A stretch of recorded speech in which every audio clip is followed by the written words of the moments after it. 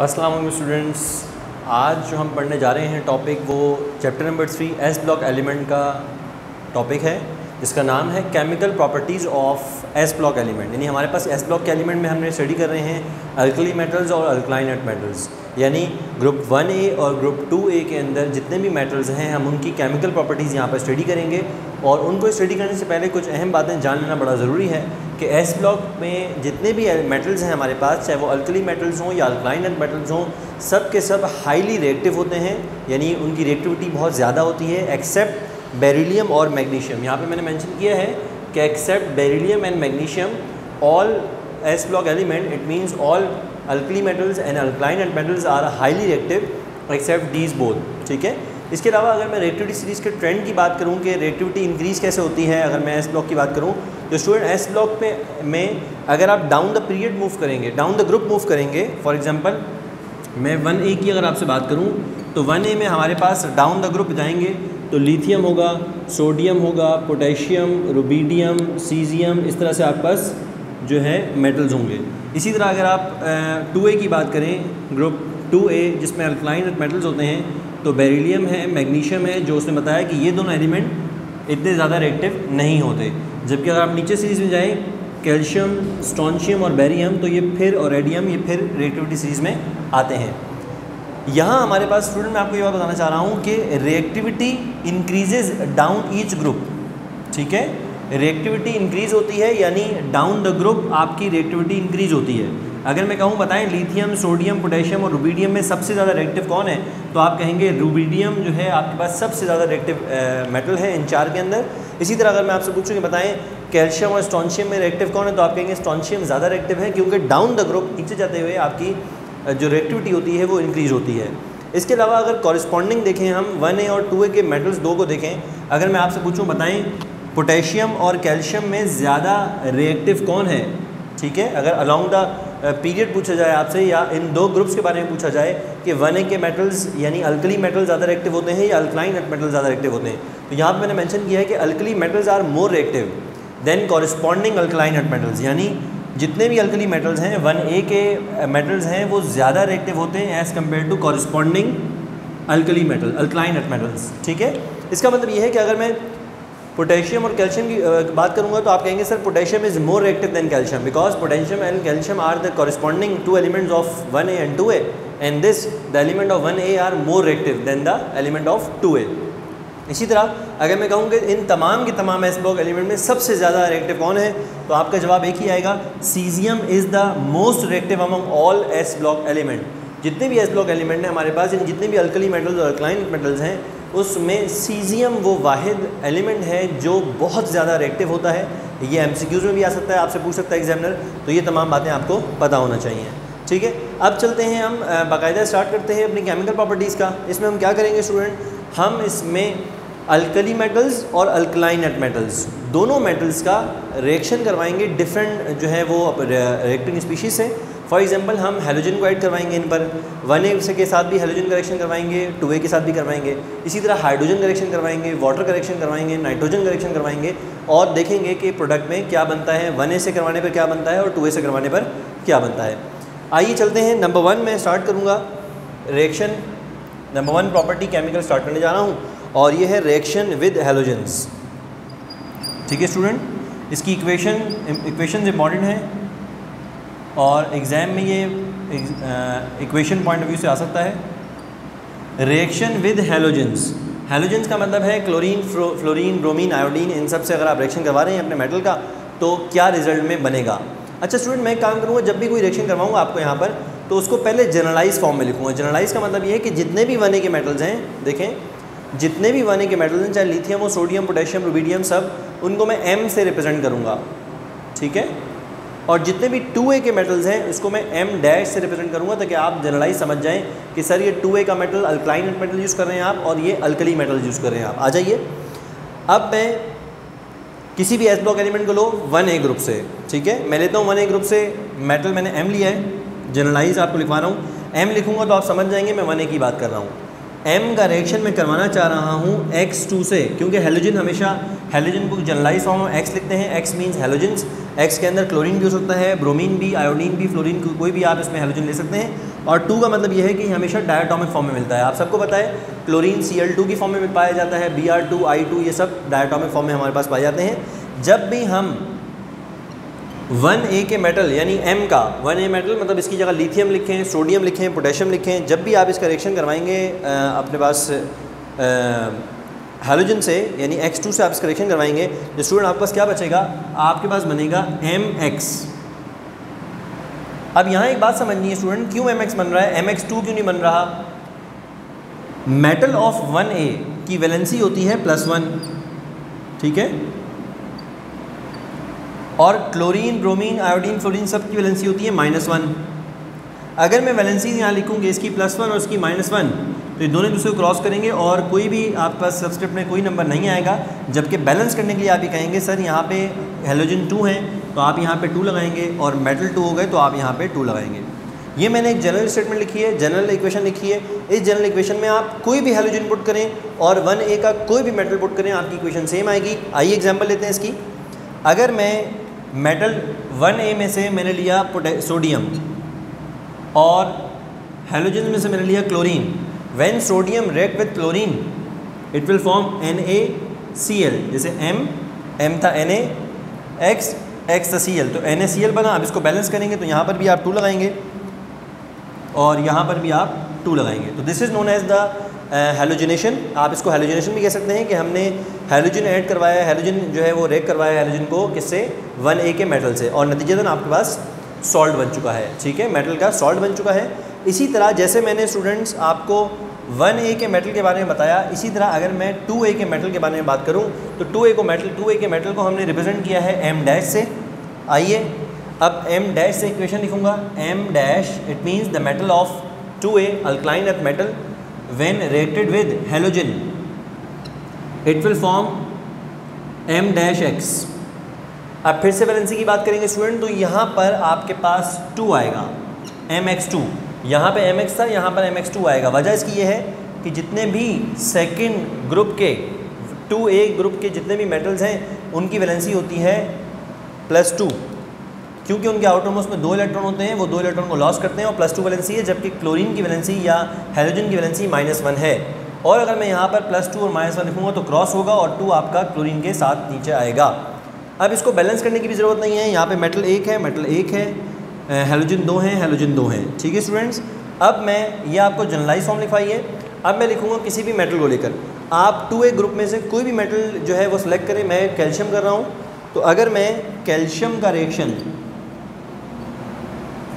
यहाँ मैं chlorine use कर रहा हूँ एज आ हेलोजन कैल्शियम का रिएक्शन क्लोरीन से करवाऊँगा तो ये बन जाएगा calcium chloride C A C L two ठीक है? और ये वैलेंसी क्रॉस करके बनाया मैंने सी ए सी एल टू आप इसको मैं मेंशन कर सकते हैं। ये है हमारे पास रिएक्शन विद हेलोजन तो स्टूडेंट हमने पहली केमिकल प्रॉपर्टी यहाँ पर कंप्लीट कर ली है, जिसमें हमने सीखा कि किसी भी एस ब्लॉक एलिमेंट को, चाहे वो वन ए का हो या वो टू ए का हो हम जब उसको हेलोजन से रिएक्शन करवाएँगे तो नतीजतन मेटल का सॉल्ट बन जाएगा, चाहे वो वन ए का मेटल हो, चाहे वो टू ए का मेटल हो मेटल का सॉल्ट बन जाएगा, जैसा कि आपने देखा एनएससीएल और C A C L two it means sodium chloride and calcium chloride अब हम जाएँगे स्टूडेंट सेकेंड प्रॉपर्टी की तरफ़.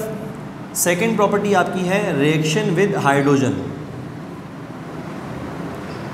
reaction with hydrogen hydrogen का मतलब है कि हाइड्रोजन गैस से आपने रिएक्शन करवाना है एच टू यहाँ पर सी एल टू जो हाइड्रोजन होते हैं वो सी एल टू होते हैं, यानी एक्स टू होते हैं, और हाइड्रोजन तो सिर्फ़ एच टू होती है, लिहाजा हम एच टू से रिएक्शन करवाएँगे। और फिर से स्टूडेंट मेरी ये वाली जो बात आपसे मैंने कही थी कि मेटल जो वन एली वन ए के मेटल्स हैं, उसको मैं एम से रिप्रेजेंट करूँगा, और टू ए के मेटल्स को मैं एम डैश से रिप्रेजेंट करूँगा। आइए इसकी इक्वेशन पे फोकस करते हैं। जब मैं मेटल लिया वन ए का जब उसका रिएक्शन में हाइड्रोजन से करवाऊँगा तो नतीजतन ये बन जाएगा एम एच ठीक है, क्यों स्टूडेंट क्योंकि फिर वही बात कि वन ए के मेटल की वैलेंसी प्लस वन होती है हाइड्रोजन की माइनस वन होगी, एक दूसरे को क्रॉस करेंगे और यहाँ पर नीचे सब्सक्रिप्ट में कुछ भी नहीं आएगा, जबकि बैलेंस करने के लिए आप यहाँ पे टू लगाएँगे और यहाँ पे टू लगाएँगे। और अब इसकी जगह वन ए का कोई मेटल डाल के देख लें आप लोग, मैं यहाँ पे डालता हूँ लिथियम देखें लिथियम को अगर मैं यूज़ कर रहा हूँ और लिथियम के साथ हाइड्रोजन गैस का रिएक्शन करवाऊँगा। तो नतीजे में लिथियम हाइड्राइड बनेगा और ये रिएक्शन आप पहले हाइड्रोजन के चैप्टर में पढ़ चुके हैं। Lithium hydride is a true hydride ionic hydride और इसको बैलेंस करने के लिए आप यहाँ पर टू लगाएँगे और यहाँ पर टू लगाएँगे। इसका मतलब ये हुआ स्टूडेंट कि किसी भी वन ए के मेटल चाहे वो लिथियम हो सोडियम हो पोटेशियम हो रुबीडियम हो, किसी भी वन ए के मेटल का रिएक्शन अगर आप हाइड्रोजन से करवाते हैं तो हाइड्रोजन अपना हाइड्राइड बना लेगा और वो इस फॉर्म में आप पाया जाएगा। इसी तरह अगर मैं टू ए ग्रुप की बात करूँ, यानी अल्कलाइन अर्थ मेटल्स की बात करूँ तो अल्कलाइन अर्थ मेटल को एम डैश से रिप्रेजेंट करते हैं।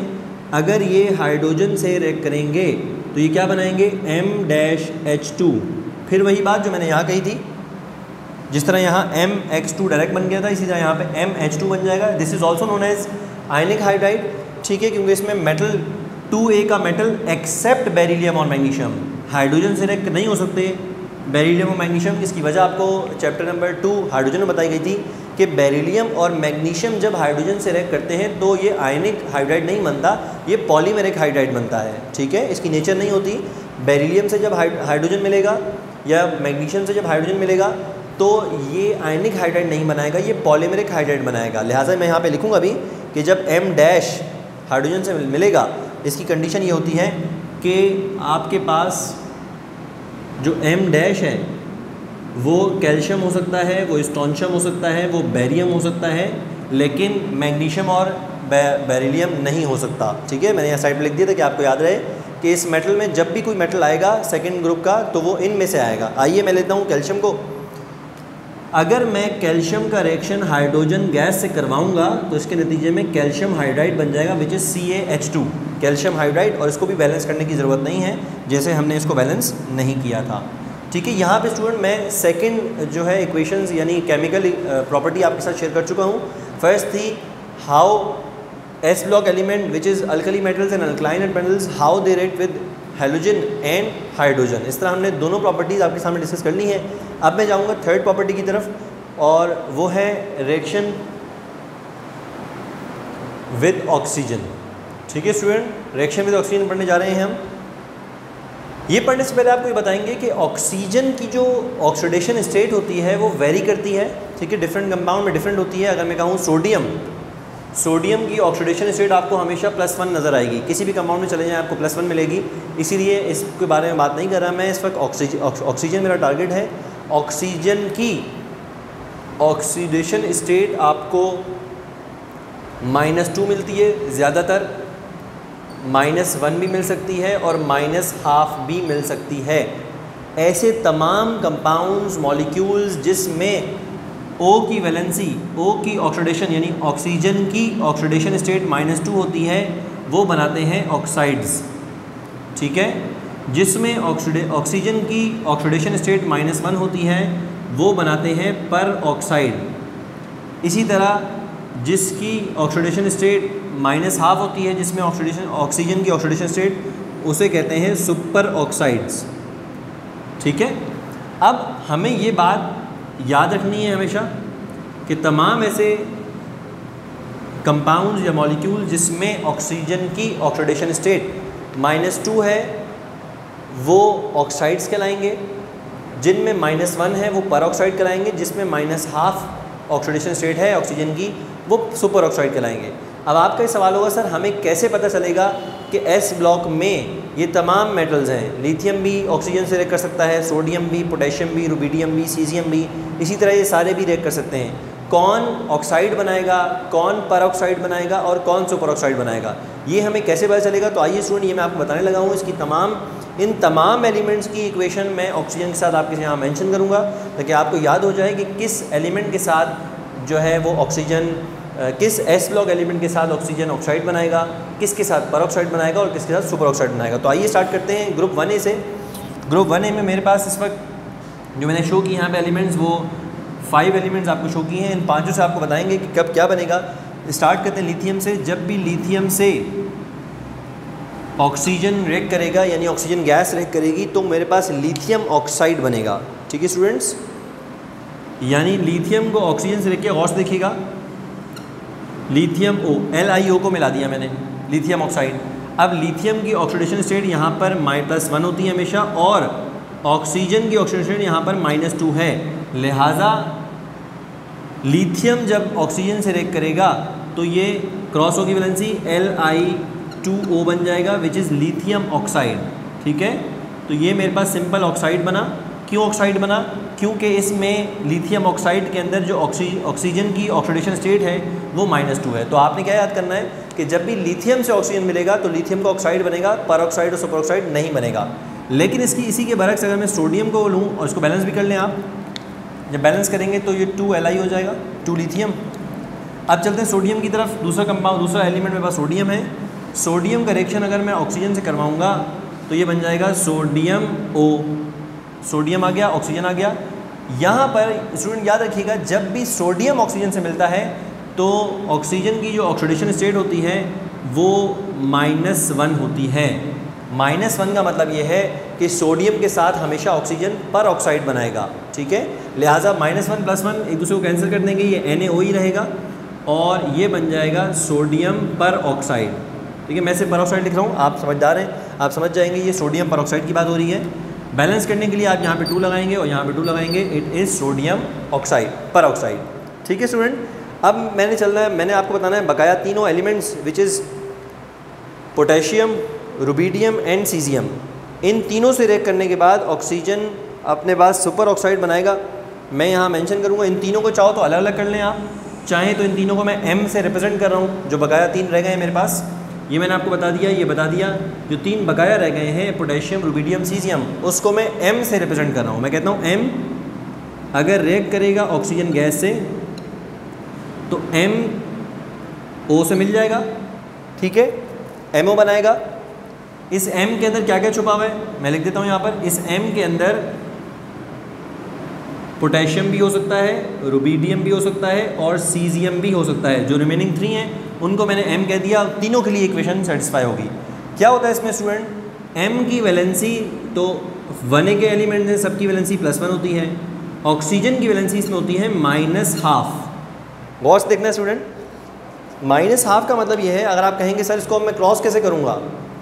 वन यहाँ आएगा हाफ़ यहाँ आएगा। हाफ़ यहाँ आने का मतलब ये है कि ऑक्सीजन के एक एटम को इस मेटल का आधा एटम चाहिए। तो आप इसको मल्टीप्लाई बाई टू कर देंगे और जब ये क्रॉस होता है तो यहाँ पर ऑक्सीजन के दो एटम यूज़ किए जाएँगे इसमें। मैं मेंशन कर रहा हूँ, आप भी अपने पास लिख लीजिएगा इसको। जब ये क्रॉस होगा स्टूडेंट्स तो यहाँ पर आपके पास टू आ जाएगा। ठीक है? कैसे टू आ रहा है? ये माइनस हाफ़ है, ये यहाँ आया। ये प्लस वन है, यहाँ आया। ठीक है? जब आप इसको क्रॉस करेंगे तो हाफ़ किसी भी मेटल का एटम हाफ़ नहीं होता। यहाँ पे आपने दोनों को मल्टीप्लाई बाई टू करना होगा तो हाफ़ को जब मल्टीप्लाई बाई टू करेंगे तो यहाँ वन रह जाएगा। जब वन को मल्टीप्लाई बाई टू करेंगे तो यहाँ वन टू आ जाएगा। लिहाजा इसे कहते हैं सुपर ऑक्साइड क्या कहते हैं स्टूडेंट्स सुपर ऑक्साइड और यहाँ पे हमारा एक सिर्फ़ ग्रुप कंप्लीट हुआ है वन ए हमने वापस रिपीट करूँगा। वन ए में मैंने क्या बताया आपको? वन ए में ये पाँच एलिमेंट हैं। अब आपने याद करना है कि लिथियम से जब ऑक्सीजन करेक्शन करवाएँगे तो लिथियम ऑक्साइड बनेगा। सोडियम के साथ पर ऑक्साइड बनता है। जबकि पोटेशियम, रुबीडियम और सीजियम के साथ आपका सुपर ऑक्साइड बनता है, यानी उसमें ऑक्सीजन की ऑक्सीडेशन स्टेट माइनस हाफ़ होती है। ठीक है? अब चलते हैं next beryllium and magnesium and then calcium strontium and barium ठीक है? सबसे पहले मैं यहाँ आपको बेरिलियम के बारे में करवाऊँगा। ये तमाम तर रिएक्शन मैंने लिखे थे वन ए के लिए। और अब मैं रिएक्शन लिखने जा रहा हूँ टू ए के लिए। ठीक है? टू ए में फिर मैं यहाँ पर मेटल डैश यूज़ कर रहा हूँ, यानी मेटल डैश का मतलब है एम डैश का मतलब है एम बार का मतलब है metals of group two A इसमें इंडिविजुअल इंडिविजुअल इसलिए नहीं बता रहा, क्योंकि इसमें अगर मैं आपसे बात करूँ तो बेरिलियम मैग्नीशियम और कैल्शियम ये तीनों के तीनों सिर्फ़ सिंपल ऑक्साइड बनाते हैं। यानी इन तीनों को मैं अगर एम डैश से रिप्रेजेंट करूँ और आपसे कहूँ कि इस एम डैश को मैं ऑक्सीजन सिलेक्शन करवाऊँगा तो आप कहेंगे, सर एम और ओ मिल जाएगा। M dash sorry M dash का मतलब होता है metal of alkaline earth metal metal of two A group two A group के मेटल की वैलेंसी होती है प्लस टू और ऑक्सीजन की सिंपल ऑक्सीजन की ऑक्सीडेशन स्टेट होती है माइनस टू जब ये क्रॉस होंगे तो कुछ भी नहीं आएगा और ये एम डैश ओ बन जाएगा। इस एम डैश ओ ने सारे के सारे ऑक्साइड बनाने हैं। क्योंकि इसमें ऑक्सीजन की ऑक्सीडेशन स्टेट माइनस टू है और जब भी ऑक्सीजन की ऑक्सीडेशन स्टेट माइनस टू होती है तो हम इसे ऑक्साइड कहते हैं और इस मेटल्स के अंदर जो एम डैश यूज़ किया है मैंने, इस एम डैश में आप बेरिलियम भी रख सकते हैं मैग्नीशियम भी रख सकते हैं और कैल्शियम भी रख सकते हैं। इसका मतलब है बेरिलियम मैग्नीशियम कैल्शियम के साथ जब रिएक्शन करेगा तो वो सिंपल ऑक्साइड बनाएगा, जबकि बाकी जो दो रिमेनिंग है स्टॉन्शियम और बेरियम उनके साथ ये पर बनाएगा। उनको मैं वापस से रिप्रेजेंट कर रहा हूँ एम डैश से। यहाँ पर एम डैश का मतलब ये है कि अब रिमेनिंग जो रह गए हैं उनको अगर मैं ऑक्सीजन से रेक करवाऊँगा, ये बनाएँगे M O M dash O metal फिर से टू ए ग्रुप के हैं, इनकी वैलेंसी प्लस टू हो जाएगी, जबकि अब ऑक्सीजन की वैलेंसी माइनस वन हो जाएगी। क्योंकि अब ये क्या है? पर ऑक्साइड है। जब ये क्रॉस मल्टीप्लाई होगा तो टू नीचे आ जाएगा और ये बन जाएगा एम डैश ओ टू ठीक है student M dash O two और इसे कहते हैं हम पर ऑक्साइड इसमें जो मेटल इन्वॉल्व है एम डैश से रिप्रेजेंट करूँगा और वो है स्टॉन्शियम एंड बैरियम तो यहाँ स्टूडेंट ऑक्सीजन की तमाम तर बात यहाँ कंप्लीट हुई है कि किस तरह एस ब्लॉक के एलिमेंट ऑक्सीजन से रेक करेंगे तो कभी ऑक्साइड बनेगा, कभी पर ऑक्साइड बनेगा और कभी सुपर ऑक्साइड बनेगा। इससे आपने ये सीखा कि सुपर ऑक्साइड सिर्फ़ किसका बनेगा? पोटेशियम रुबीडियम और सीजियम का सुपर ऑक्साइड बनेगा ऑक्सीजन के साथ। लिथियम का और बेरिलियम मैग्नीशियम कैल्शियम का सिर्फ़ और सिर्फ़ ऑक्साइड बनेगा। जबकि सोडियम, स्टॉन्शियम और बैरियम का। सोडियम, स्टॉन्शियम और बैरियम का आपके पास पर ऑक्साइड बनेगा। ये पाँचों के पाँचों रिएक्शन आपको याद होने चाहिए। रैंडमली आपसे एम में पूछा जा सकता है और इक्वेशन भी दी जा सकती है कि बताएँ, ये मेटल जब ऑक्सीजन से रिएक्ट करेगा तो क्या बनेगा? तो उसमें आपको तमाम की तमाम चीज़ें याद होनी चाहिए कि जब ऑक्सीजन से रिएक्शन करेगा, कोई भी एस ब्लॉक का एलिमेंट तो उसमें ऑक्साइड बनता है पर ऑक्साइड बनता है या सुपर ऑक्साइड बनता है। ठीक है स्टूडेंट अब हम नेक्स्ट अपनी प्रॉपर्टी भी चलते हैं which is chemical property number four number fourth property है रिएक्शन विद नाइट्रोजन यानी अब मैंने वन ए मेटल्स को अल्कली मेटल्स को और अल्कलाइन मेटल्स को दोनों को रिएक्शन करवाना है नाइट्रोजन के साथ. नाइट्रोजन गैस है मेरे पास. आइए सबसे पहले वन ए के मेटल को यूज़ करूँगा एम और इसके रिएक्शन करवाऊँगा नाइट्रोजन गैस एन टू के साथ. जब ये रिएक्शन प्रोसीड होगा तो हमारे पास बन जाएगा एम एन ठीक है? M is for metal of alkali alkali metal and N is for nitrogen इसकी वैलेंसी क्रॉस करेंगे आप. मेटल की वैलेंसी प्लस थ्री होती है, जबकि नाइट्रोजन की वैलेंसी माइनस थ्री होगी. ठीक है? क्योंकि ये फिफ्थ ए ग्रुप में होता है और उसकी वैलेंसी माइनस थ्री है. आप इसको क्रॉस करवाएँगे तो आपके पास बन जाएगा एम थ्री एन ठीक है? एम थ्री एन बन जाएगा आपके पास स्टूडेंट्स और अब मैं यहाँ पर एक, ये जनरल फॉर्मूला था. वन ए के मेटल्स के लिए मैं अब यहाँ पे किसकी एग्जांपल लूँगा? आप इनमें से कोई भी एग्जांपल उठाएँ। मैं सोडियम उठा लेता हूँ कि अगर मैं इसकी जगह सोडियम को लूँ और सोडियम का रिएक्शन नाइट्रोजन गैस से करवाऊँ, मेरे पास बन जाएगा सोडियम एन सोडियम नाइट्रोजन मिलाऊँगा। वैलेंसी क्रॉस होगी तो आएगा एन ए थ्री एन यानी सोडियम नाइट्राइड बन जाएगा मेरे पास। ठीक है स्टूडेंट अब आप चाहें तो इसको बैलेंस कर लें। और बैलेंस करने के लिए अगर मैं यहाँ पर देखिएगा ये टू है, लिहाजा मुझे यहाँ पर टू लगाना होगा, ताकि नाइट्रोजन दो हो जाए, और two three times six it means metal मेरे पास छः यूज़ होंगे। जो मैंने जनरल फॉर्म में बैलेंसिंग की है, वही आप मेन इक्वेशन में बैलेंसिंग करेंगे। It mean six atoms of sodium react with one molecule of nitrogen gas it will form two moles of sodium nitride ये मैंने वन ए के बारे में आपको बताया है। अब स्टूडेंट टू ए के बारे में बताएँगे। अगर मैं कोई टू ए का मेटल यूज़ करूँ, यानी अल्कलाइन मेटल यूज़ करूँ, चाहे वो बेरिलियम मैग्नीशियम कैल्शियम कोई भी हो तो मेरे पास नाइट्रोजन से रेक करने के बाद क्या बनेगा? एम डैश एन यहाँ पर स्टूडेंट सेकेंड ए ग्रुप के मेटल्स की वैलेंसी प्लस टू होती है, जबकि नाइट्रोजन की माइनस थ्री होती है। इनको क्रॉस करवाएँगे आप तो ये बनेगा M dash three N two ठीक है? ये बना है M dash three N two अब इसमें क्या होगा स्टूडेंट मैं कोई भी एग्ज़ाम्पल लेता हूँ कैल्शियम की एग्ज़ाम्पल लेते हैं। कैल्शियम प्लस नाइट्रोजन जब इसका रिएक्शन करवाएँगे तो कैल्शियम आ जाएगा, नाइट्रोजन आ जाएगा, ठीक है? कैल्शियम की वैलेंसी प्लस टू होती है, नीचे आ जाएगा, नाइट्रोजन की माइनस थ्री होती है, यहाँ आ जाएगा। ये बन गया कैल्शियम नाइट्राइड। और अब इसको आप बैलेंस करेंगे तो देखिए, बैलेंस करने में नाइट्रोजन यहाँ दो हैं, यहाँ भी दो हैं, लेकिन मेटल यहाँ पे तीन है तो यहाँ तीन लगाना पड़ेगा। और इसी तरह आपने यहाँ पर भी थ्री कैल्शियम के एटम यूज़ करने होंगे। ये हो गया हमारे पास स्टूडेंट नाइट्रोजन से रिएक्शन और नाइट्रोजन से रिएक्शन जब मैं वन ए की बात करूँगा तो वन ए में तमाम के तमाम मेटल्स जितने भी मेटल्स हैं आपके पास, चाहे वो लिथियम है सोडियम पोटेशियम रुबिडियम सीजियम सब के सब नाइट्रोजन से रिएक्शन कर सकते हैं ऑल अल्कली मेटल्स और बनाएँगे उनका नाइट्राइड यानी we can say that here M is equal to all one A members ठीक है? लेकिन जब मैं सेकेंड की बात करूँ तो सेकेंड ए में एम डैश का मतलब है ऑल अल्कलाइन एट मेटल्स यानी all two A members except सिर्फ़ इसमें क्या नहीं होगा?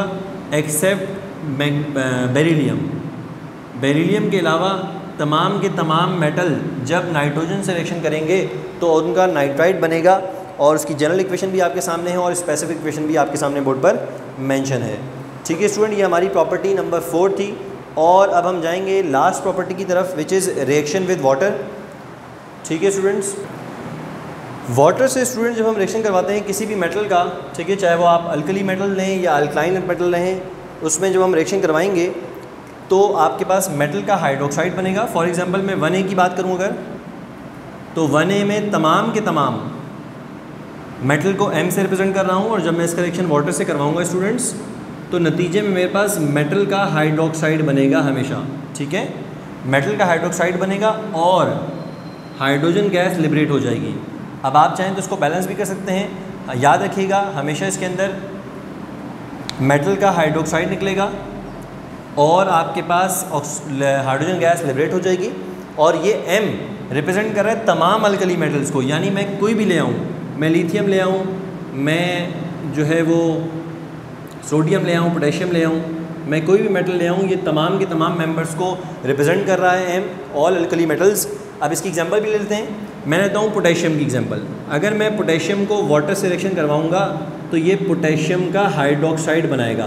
K O H potassium hydroxide और water water sorry hydrogen gas release हो जाएगी. इसको बैलेंस करने के लिए अगेन आप जनरल इक्वेशन से देख लें. टू के ओ एच यूज़ करूँगा और यहाँ पर दो पोटेशियम के मेटल के एटम यूज़ करूँगा. ठीक है? नाउ अब आगे चलते हैं हम. सेकेंड ग्रुप की अगर बात करूँ, यानी टू ए ग्रुप की मेंबर्स की अगर बात की जाए तो टू ए के अंदर मेटल को मैं एम डैश से रिप्रेजेंट करता हूँ। इस इसी को इसको भी जब आप वाटर से रिएक्शन करवाएँगे स्टूडेंट तो आपके पास फिर से मेटल है क्योंकि टू ए का मेटल है उसकी वैलेंसी बस प्लस टू है लेकिन आ, है मेटल वो नेचर में। मेटल जब वाटर से रिएक्शन करेगा तो एम डैश का भी यानी सेकेंड ए के मेटल का भी हाइड्रो ऑक्साइड बन जाएगा। शर्ट से भी होगी यहाँ पर आप देखते हैं तो मेटल ऑफ़ वन ए की वैलेंसी प्लस वन होती है हाइड्रोक्सी लाइन की माइनस वन होती है क्रॉस होती है तो आप पास कुछ भी नहीं बचता नीचे। जबकि टू ए के मेटल यानी एम डैश से जब आप रिएक्शन करवाएँगे अल्कलाइन एट मेटल से तो एम डैश की वैलेंसी होती है plus two because it is in the second A group जबकि हाइड्रोजन हाइड्रोक्सिल की वैलेंसी माइनस वन होती है, जब आप वैलेंसी क्रॉस करेंगे तो आपके पास यहाँ पर टू आ जाएगा। It means M dash O H two ठीक है? और इसी तरह आपके पास हाइड्रोजन गैस लिबरेट हो जाएगी, जो कि आपने लाजमी करनी होगी। यहाँ पे अगर आप बैलेंस करेंगे स्टूडेंट तो वाटर के दो मॉलिक्यूल यूज़ करेंगे। फोर एच हैं आपके पास, दो ओ हैं, यहाँ कंप्लीट हो जाएगा, जबकि मेटल का ओनली वन एटम यूज़ करेंगे आप। अब आइए किसी एग्ज़ाम्पल को लेते हैं। मैं यहाँ पर एक कैल्शियम की एग्ज़ाम्पल ले लेता हूँ। अगर मैं कैल्शियम का रिएक्शन वाटर से करवाऊँगा तो मुझे यकीन है कि इसमें बनेगा कैल्शियम हाइड्रोक्साइड क्योंकि हमने यही पढ़ा कि मेटल जो भी यूज़ करेंगे, उस मेटल का हाइड्रोक्साइड बनेगा और हाइड्रोजन गैस लिबरेट हो जाएगी। जबकि इसको बैलेंस करने के लिए आप वाटर के दो मॉलिक्यूल यूज़ कर रहे हैं और मैं भी यहाँ पे दो मॉलिक्यूल यूज़ करूँगा। This is the for all alkaline metal except magnesium magnesium के साथ ऐसा रिएक्शन नहीं होगा, जबकि मैग्नीशियम के साथ हल्का सा आपको अपने वाटर को बॉयल करना होगा। लिहाजा मैं वो यहाँ मैंशन नहीं करूँगा। मैं सिर्फ़ आपको ये बता देता हूँ कि अगर इसकी जगह सिर्फ़ और सिर्फ़ मैग्नीशियम आ जाए चूँकि टू ए में सारे मेटल्स हैं मैग्नीशियम जब आता है तो स्पेसिफिकली हमने यहाँ पर रिएक्शन बिल्कुल सेम है। जस्ट फ़र्क ये कि हमें यहाँ इसको बॉयल करना होता है थोड़ा सा और फिर हमारे पास बनता है मैग्नीशियम हाइड्रोक्साइड ठीक है? बाकी रिएक्शन बिल्कुल सेम है, सब सेम होगा, लेकिन सिर्फ़ मैग्नीशियम भी मैंने अलग से इसलिए लिखा है, ताकि आपको समझ में आए कि तमाम मेटल्स के लिए बॉयल करना नहीं होता हमने, लेकिन मैग्नीशियम जब स्पेसिफिकली आ जाएगा तो हमें इसको बॉयल करना होता है। इसमें स्टार बनाना होता है, कि आप इसको अलग से देखें, कि अलग रिएक्शन है। इस तरह स्टूडेंट आर्ट्स की क्लास में हमने एस ब्लॉक एलिमेंट यानी तमाम के तमाम अल्कली मेटल्स और तमाम के तमाम अल्कलाइन एंड मेटल्स की कुछ केमिकल प्रॉपर्टीज़ की। I think five chemical properties हमने यहाँ पर की हैं और फाइव में भी हमने तमाम मेटल्स को यूज़ किया है। होपफुली आपको क्लास समझ में आई होगी। इन अब आपसे मिलते हैं नेक्स्ट क्लास में। नए टॉपिक के साथ। तब तक ली इजाज़त है स्टूडेंट्स अल्लाह हाफिज़।